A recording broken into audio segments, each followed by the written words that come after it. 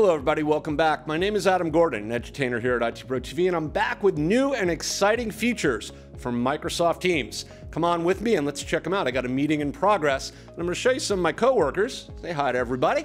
We're showing you one of the really cool and exciting new features, which is the gallery view. It lets you now see up to nine participants. Everybody's happy and smiling, and you can see all of them on camera all using video. We're seeing all nine of them, and I'm down in the corner at the bottom, as you could see, as the 10th participant in the meeting. This is actually really cool because up until recently, Microsoft's ability to show you participants in Teams in video as part of a meeting has been limited. So growing this gallery view out is actually really nice bringing everybody in, letting them all participate. Now, another really interesting and cool thing we can do, I'm going to hover over it for just a second, zoom in to show it to you before I let everybody do it, is we now have an option to raise your hand in a meeting right from the toolbar so that way I can see when somebody wants to say something. So I'm going to ask Carola, she's sitting right in the middle of the screen there, if she can raise her hand. And when she does, we're going to see two interesting things. You're going to see that it pops out and gives me a visual that she's raised her hand right there. I can hover and see information about her. It also pops out under show participants right here, gives me a little indicator of a number. Megan, can you raise your hand as well? Megan's right below Carola uh, in our little Brady Bunch visual there. And she's now done it. She's raised her hand. I see the number of participants is two. And if I come back out and bring the participant list up over to the side, I can see whoever has raised their hand as I go over, and I can indicate and interact with them based on that visually. Maybe I can call one of them, they can talk, they can do whatever. So that's really helpful. And you can see when I am able to hover there, I, as the person who's running the meeting, can actually lower their hands once I've addressed their question just by hovering over the little ellipsis, the three buttons where their hand is, or they can lower it themselves when they actually feel that I've addressed their question or whatever they've done that requires my attention. So that's kind of nice. The third thing that's a new feature that we wanted to focus on as well, and this one is really interesting. Courtney, who's at the upper left hand corner of our screen, loves this one. She begged me to put it in the show. We're going to take a look at how you can pop out chat and have a chat window floating either while you're in the meeting or you can actually look at it while you're doing work and interact with it. And I've already done that, so I'm going to just show you the chat that's popped out. Then I'm going to show you how I've done that.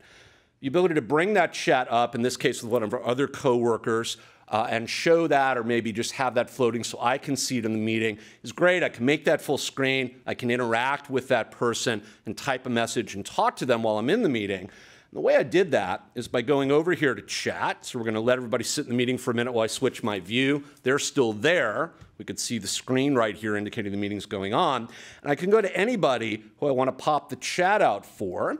And when I do that and I hover, I get this little button right here that says pop out chat. That's a visual indicator that I can do that. But I also can go to the buttons right here, the ellipsis, and when I do that, right at the top, I get a pop out chat option as well. So I can do this either way.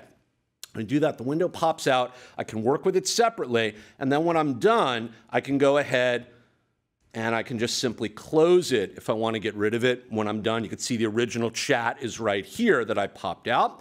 All of these are brand new features that are available to you depending on where you are in the world using Microsoft Teams. Microsoft rolls features out uh, kind of staggered across the geography. So it's based on timing. They may or may not be available to you based on where you are. But the way you can check to see what version of Teams you're running, whether there's any updates available, is something important. So let's look at that as we get ready to wrap up. I'm going to go up here to the upper right hand corner where my little profile circle is. This would be your name equivalent. I'm going to click on that. And as I come down here, I'm going to go to About, and I can see Version. This will tell me what version of Teams I'm currently running. It pops up a little gray bar at the top of the screen. It also tells you when the last update was and when it was applied, which is important because depending on the timestamp on that, you come right down here and check for updates. Teams will go out behind the scenes, automatically check for you, and apply updates without you even doing anything. And it does this automatically for you periodically as well. Now I'm going to go to About, I'm going to go to Version. Before I do that, let me zoom out. And I'm going to show you that right up here is where it shows up, gives me my team version number and the last update cycle that updates were applied against. It doesn't tell you all the updates and all the features, but it does tell you when they were applied, and it will tell you if there's new updates pending. So based on that, I get new features on a rolling basis, and some of the features we're showing you here in this particular uh, discussion are coming to me or coming to my use and to my team, as you can see from that. Now, a couple of the people in our meeting here are using the Apple platform, the Macintosh computer. I'm using a Windows computer. All those updates roll out at different times across different platforms. So if you go to use something and you're not seeing it, it may be because it's not available yet. Be patient, and I promise you eventually it will be. All right, we're gonna say goodbye to all of you, say goodbye to everybody in our meeting. I'm gonna wish you happy teaming until we're back with more features, more updates, and more cool ways you can benefit from using Teams. Check out the playlist for more Microsoft Teams tips and be sure to subscribe to the IT Pro TV channel. I'm Adam Gordon, and thanks for watching.